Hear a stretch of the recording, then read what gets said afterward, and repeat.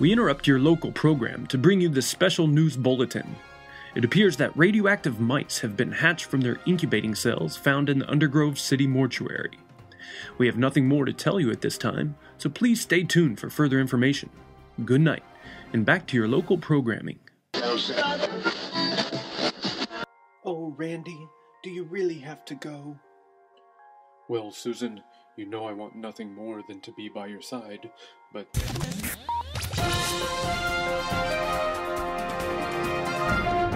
Ladies and gentlemen, this just in.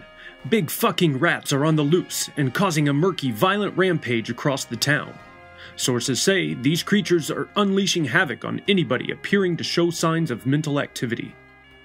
As for now, you are advised to stay inside your homes, lock up your windows, and secure all ports of entry. If a situation arises to where you believe you or your household is becoming under attack, it is advised for you to continue watching television as if nothing is happening. Now, back to your Saturday night movie of the week starring Tim Felton in As the Candle Burns.